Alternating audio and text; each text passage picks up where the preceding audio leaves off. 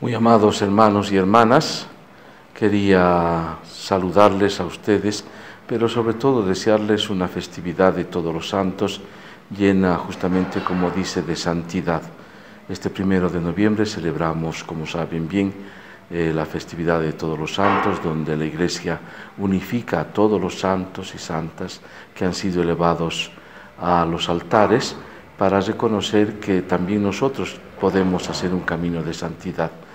Este año tenemos esta linda particularidad de saber que pronto podría ser también canonizada la Beata Nazar Ignacia, sería la primera santa boliviana. Por tanto, nos alegramos y les deseo que a través de los santos ustedes puedan ser bendecidos en sus familias.